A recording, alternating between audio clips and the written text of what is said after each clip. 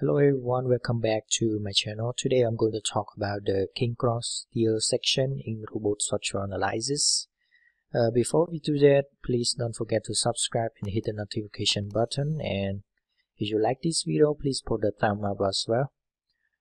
Okay, uh, to create a new cross section, you can go to uh, member section and click on new section and select uh, steel in section type and you can uh, choose the material here. And uh, to create the king cross section you can go to uh, this type in the parametric uh, tab. And you can input the size and uh, thickness of the section in this dialog box. So let's try something here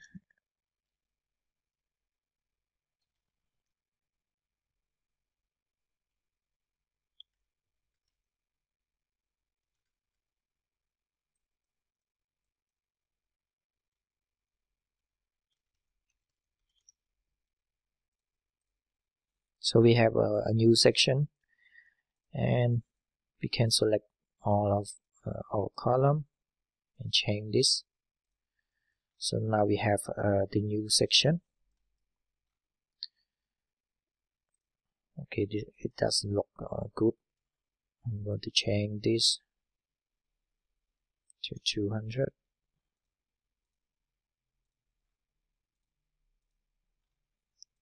so uh, this is the new column.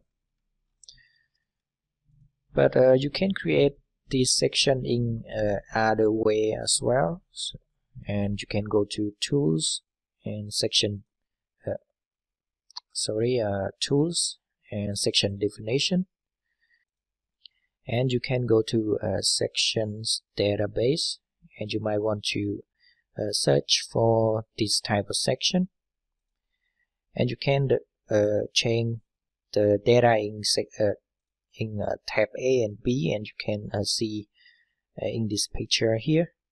So I'm going to change the uh, section in the tab B first and I want to select 400 by 400 and the material is SS400 and in tab A I'm going to change this to 400 by 200 and select this type of material and okay so now we got the uh, new section and you can uh, save it into the database. Uh, you can change the name here but uh, I will keep it the same and I will put the name as uh, CSS and call uh, we uh, put this 400 400 and let's call 200 okay and the program will create a new uh, section in the database.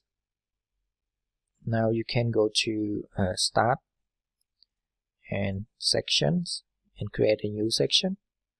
And this time you can go to standard and go to user and this is the uh, section that uh, we just created. And this, this is the section. So I click on add and we have a new section. And we change this.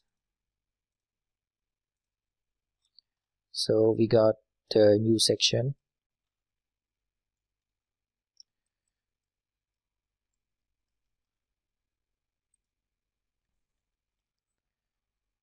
so uh, you can create this type of section uh, by uh, these methods. And after that you can run the structural analysis and show the result.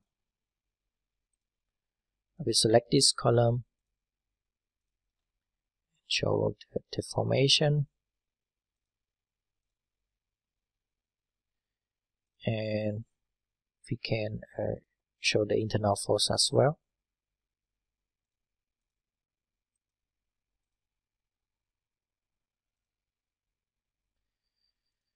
so uh, this is how you create this type of cross section in uh, robot structural analysis.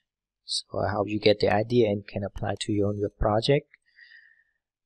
So this is it for this video.